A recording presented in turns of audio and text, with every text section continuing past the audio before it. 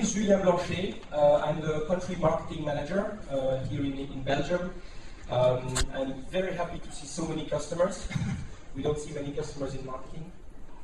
Uh, thank you for coming on such a beautiful day. Uh, I hope we'll be able to en- enjoy a bit nice view on Brussels. If it's uh, like me, your first time here at Square, uh, I think you discovered this ni- nice location.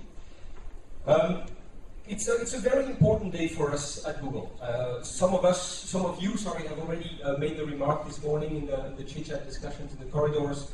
After a few years of presence, it's our first real event uh, in Belgium.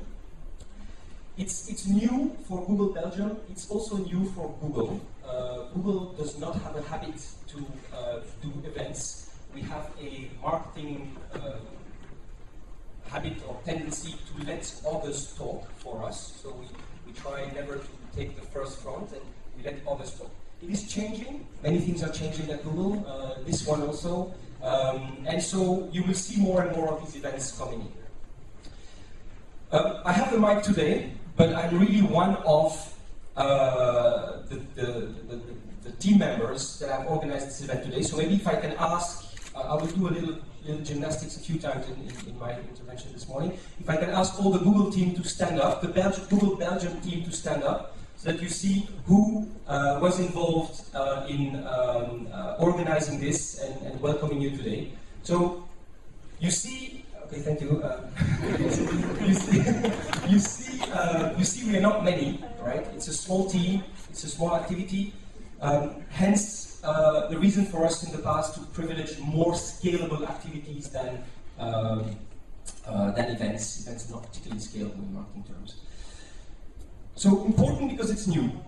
Important because it is the first event of a series that we will be organizing this year to really reach out to you, advertisers, to reach out to the broader potential online advertisers, and also reach out to the policymakers um, in Belgium to raise the awareness of the importance of online business in Belgium. It is still, still something that is reasonably low um, on the agenda. Um, and we believe that definitely Belgium needs to uh, increase its efforts in developing its e-commerce activity and online businesses in general. And that is why we're releasing today a whole set of data, a whole set of information. We sincerely hope you go away with much more data than you can manage. um, uh, but at least remembering the key points uh, that, that, are of, of importance. It's a series of events. It's the first one, so it's the most important. Uh, that's why we invited you as early adopters to start with. So you're supposed to be a friendly crowd with whom we, we can test, you know, the message. Um, but of course, feel free to raise the questions. You know, uh, uh, trigger the discussions today. We, we have allocated a lot of time to questions and answers. There'll be microphones in the room. So please uh, con- consider this morning as a privileged, you know, space-time uh, interval where we can uh, exchange on these uh, important developments. what we'll do today, we will go first to a very brief presentation uh, showing where Belgium stands. You know, we have accumulated a little delay, uh, but we are catching up, so we'll see how, um, and, and um, we'll have a first presentation on that. Then um, we will think out of the box. So thinking online does not necessarily mean you only need to focus online. There is a lot of things to do offline too, and it's the complementarity of these two kind of medias that will really help your business uh, to grow, we believe. So I think this is maybe a bit awkward, you might think, to, uh, to look at that, but we'll have that presentation. Then we will have a, uh, the release of a study that we conducted uh, in the late of last year, uh, that basically will tell what your customers told us, you know, in how they use e-commerce in Belgium, uh, what are their reasons to adopt e-commerce more than before, and what is still stopping them to use e-commerce in Belgium. So hopefully uh, this will be um, useful for you. And then to finish with, we have invited three very early adopters, three beacons, we like to say, people that really paved the way, each in their own sense, and some of them started before Google, uh, so I think they definitely deserve uh, definite attention. Um, and many of them, uh, they're all, I believe, very, very inspiring in their own way. So you are early adopters. You're supposed to be, uh, you know, uh, representing some of the most educated people in e-commerce in Belgium. So before we start, I would like to check that. So I will do a little quiz now, just also to wake you up. Um, so I am going to ask you all to stand up, please. Thank you. So the, the, the principle of the quiz is very, is very easy. I'm asking questions. If you know the answer, you stay standing. If you don't know the answer, you sit. I will be checking. Okay? Um, I will give the answer right after the question, and if you are wrong, you should be honest enough to sit. Okay? I, I won't be able to check that. So, so the first question, some of the things that you might be learning uh, later on, is to your knowledge, what is the share of Belgian companies today that have a website? More than 50% or less than 50%?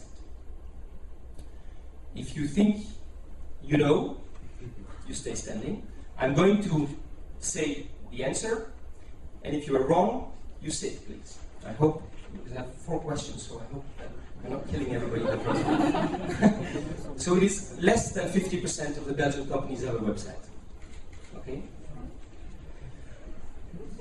Oh, I have a long way to go. I only have, I only have four gifts.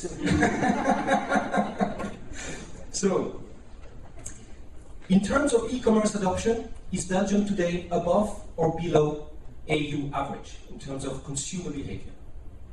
Are we above or are we below?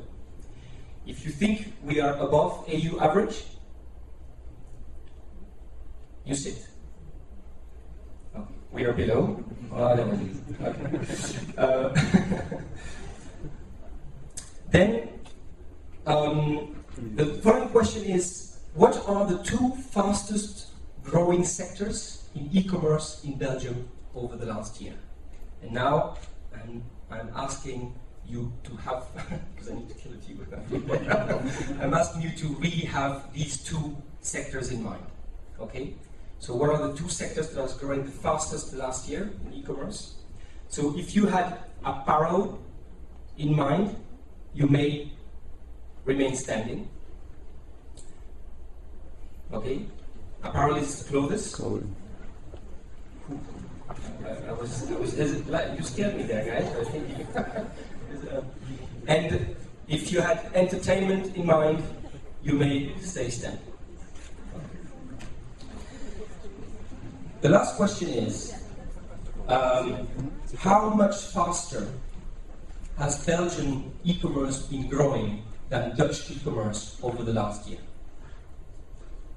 So now, if you thought twice as fast as Holland, you may sit. If you thought three times as fast, you may sit. And if you thought four times as fast, you may stay standing. And so the last one is there. so I, this, is, this is for you. I have, I have more. I was, I was hoping that it'll be a bit more, a bit more winner. I've a bit too harsh. So that was okay. I think these, these are the kinds of nuggets of information we hope to share with you today. Um, with no further ado, um, I would like to uh, launch the day. Maybe, sorry, one last thing. You all have a little gift bag in the in, in the bag. The intention is not to give you a gift. Okay, Google doesn't do that. We don't. okay, um, it's uh, the, the color of the bag decorates the room. There's a little notepad for you to take notes. And because I'm the marketing guy, I put in there two vouchers for AdWords. They're not for you, because you're hopefully already uh, understanding customers and you, you understand the value of the tool. But they are for your friends, for your families, spread the word. If you think this thing is working, um, uh, you know, I ask this in return of the coffee.